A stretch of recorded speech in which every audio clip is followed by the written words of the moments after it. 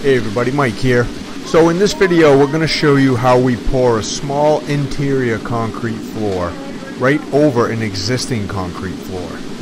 So this floor is about 30 by 19 total. There was an existing old concrete floor there. The homeowner bought the house, they're remodeling it, and they wanted to add radiant heat to this spot. So the best way to do that really is just the way he did it here is he, he put down some styrofoam over the existing concrete floor and stapled his radiant heat right to that. And in this instance, he had plenty of room to add a, a four inch concrete floor, which is what we're doing here. Now we, we could have gone three inches on this, or you know we could have gone six inches. Really, it all depends what you have for room. But that's what we went four inches here because that's the height he wanted to come at with four inches. So it worked out really good for this floor. Now what we're doing is we're getting the concrete spread around we, we're using about a 4,000 psi concrete on this with fiber mesh reinforcement in it. Uh, we're pouring, you know, about a six slump. Our normal six slump, if you've seen me pour any other videos, we got water reducer in the concrete, so we, we're not using much water to get it up to this slump. Mostly water reducer in it. And the mix is, is pretty nice. It's it's a pretty nice mix. It's not too rocky. It's got a lot of good paste with it, so it it sticks together pretty good and it, it flows really good. So you get to see us here pouring this. Sometimes a smaller interior floor like this is actually a little bit more work than a larger exterior one like a slab or something. It's just, you know, we're going through a, a six foot door. That's the only access. We got to use a, a little chute with a sawhorse here and move that around to get the concrete where we want it.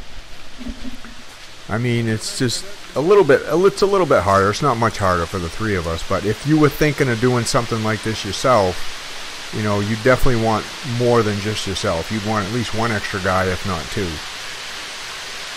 For the three of us I mean it's just this is stuff we do every day. It's really no big deal for us.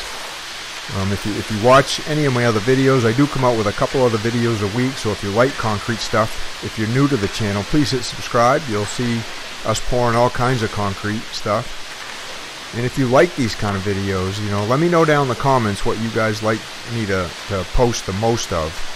And if you like seeing just small pours of us doing this with three men, um, let me know that too. You can see how nice that stuff flows. It's a, you know, when it's a 4000, it's got a lot of cement in it. There's no filler, there's no fly ash, there's no slag in it or anything. It's just all cement. And you know, a mix like this is going to dry really fast too. It's still cool enough here in Maine where we're pouring this that they're using warm water in the concrete, so the water's pretty warm. It's about, it's actually pretty hot still. It's about 130 degrees. And with the 4,000 psi with all that cement in it, it goes off pretty fast. Eventually, this floor will will get a polished, a stain and a polish. Um, but you know, today we're just going to pour it get it power troweled nice and smooth, put some sawed expansion joints in it, and then that's our part. Then the polishing will come, you know, down the road, a couple months down the road probably. Now I'm shooting my wet pad in the middle. The wet pad is what we use to screed off from. You'll see us screeding the pad, and then using that pad in the center, along with the the edges that we mag floated around the outside, and that's what Luke's doing over there. We got a we actually got a chalk line, a blue chalk line around that outside edge that we're magging our edges to. This is what happens when the concrete's too low in the middle. the guy screeding got to stop, kick some in, because there's no there's no rake guy there. I'm I'm the rake guy, but I was making I was making another pad, so I couldn't be in two places at once. So the guys had to stop, fill it in.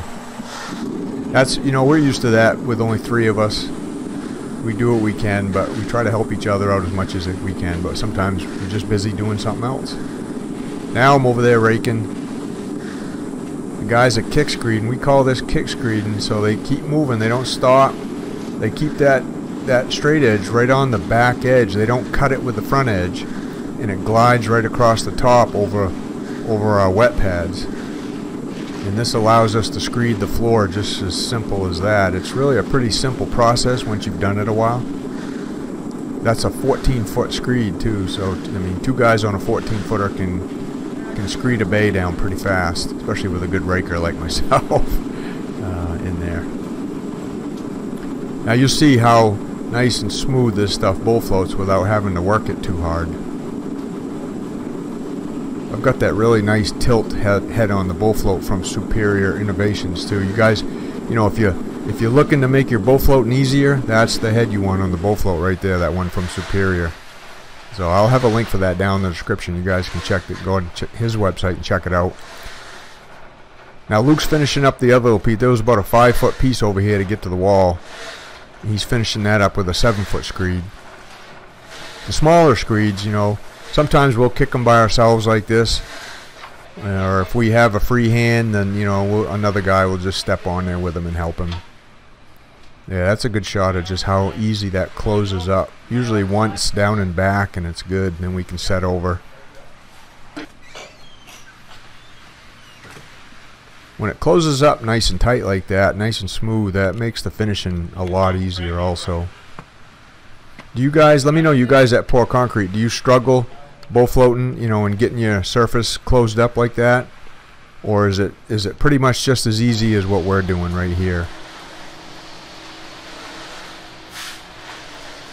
So that's the rest of the room. You can see we're going around a little fireplace there. We got some expansion board up against the the fireplace. We got styrofoam up against the outside perimeter, kind of to act as a thermal break so you don't lose any heat out the edges. So this room ought to heat really, really well when it's all done. A lot of the floors we pour here in Maine have radiant heat in them, whether it's new construction whether it's remodeling construction like this one, but a lot of people put radiant heat in the floors here. And from all the heating guys I've talked to, I talk to a lot of them because I ask a lot of questions. They like the heat tubes right on the bottom. They don't like it in the middle.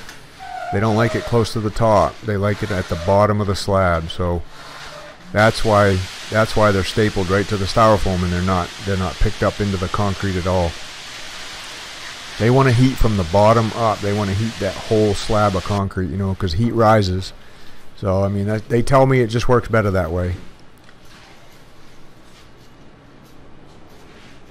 So now that we got most of that room poured out, we're going to finish magging our edges, getting our pads around the edges. Then we can screed this off. This was kind of small. A lot of pours, you know, will we'll get out the power screed, the vibra screed, the battery screed, whatever you guys want to call it. And we'll screed with that. But this was just so small, the guys really didn't want to get it out. They just said, ah, let's just do this one by hand. Most of the time, I'll just let them decide what they want to do. they do most of the screeding anyway, so.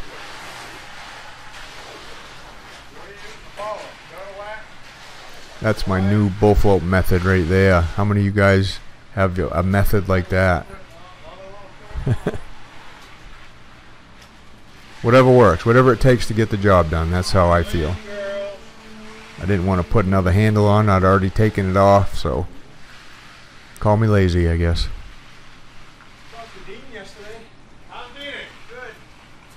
You can see that's what we like. That's what we like for a surface when we bull float, nice and smooth if we can get it nice and smooth like that, we can really let it firm up good before we put a power trowel on it. We don't have to get on it early. Now there's two guys on a seven foot screed. it's almost like dancing for them guys. They're in sync. Them guys have been screeding like that for over 20 years together, so they don't even. I guess it's just like riding a bike. They could do it with their eyes closed. So I'm going to finish bull floating this up. Again, if you want to learn more about concrete uh, training, I have the Concrete Underground, my private training. The link for that is down below. You can check that out. Um, bull floating, again, the easiest, the best tilt head for the bull float is that one we got on there. You can check that out down below. Thanks for watching, guys, and we'll see you on the next one.